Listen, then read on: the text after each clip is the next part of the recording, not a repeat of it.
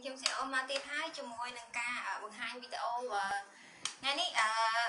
យើងអត់ឡាយទេយើងបង្ហាញវីដេអូវិញចាតោះអ្នកណាខ្លះចង់បានមុខដូចកូនងាក់ចានេះខ្ញុំបង្ហោះបង្ហាញការឡាយផងបង្ហោះបង្ហោះផងតែបងប្អូនជួនកាលគាត់អត់ទាន់អត់ទាន់ដឹងពីរបៀបលាយជួនកាលគាត់នៅមានចម្ងល់ជួនកាលនេះខ្ញុំមកកំហុសមកនេះខ្ញុំនិយាយអស់ហ្មងណាបង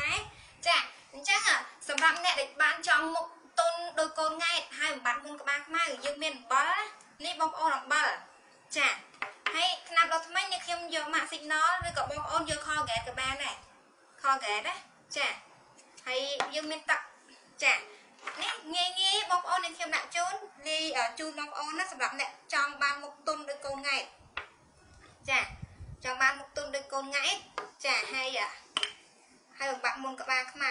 ហើយបញ្ជាក់រូបមន្តនេះយើងធ្វើដាក់ប្រអប់ដៃយើងធ្វើនៅប្រអប់ដៃប្រអប់ជើងគឺឲ្យប្រអប់ដៃប្រអប់ជើងយើងទុនបានដូចគ្នាណាបញ្ជាក់ជូន អញ្ចឹងនេះខ្ញុំលាយជូនបងប្អូនឲ្យបងប្អូនមើលណានេះ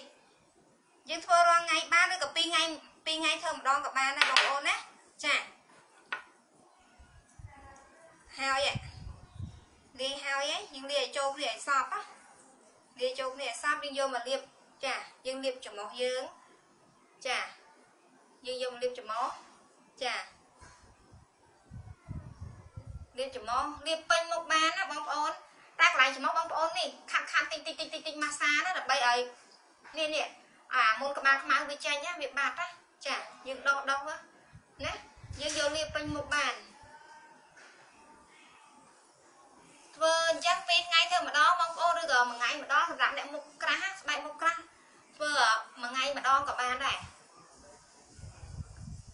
ចាយើងអាចលាបឲ្យម៉ាស្សាតិចតិចតិចតិចទៀតចាបន្ទាប់មក សម្រាប់អ្នកដែលចង់បានប្រអប់ដៃប្រអប់ជើងតុនបងដៃជើងខ្ញុំវារឹងរឹងរឹងអត់តុនណានេះយកមកលាបប្រអប់ដៃប្រអប់ជើងនេះយកមកលាបប្រអប់ដៃប្រអប់ជើងអញ្ចឹងណាចាអប់ទុកកន្លះម៉ោងសម្រាប់មុខយើងទុក20នាទីបានហើយតែដៃជើងយើងទុកកន្លះម៉ោងណាអរគុណរាជការស្រាច់ចំពោះការបង្ហាញពី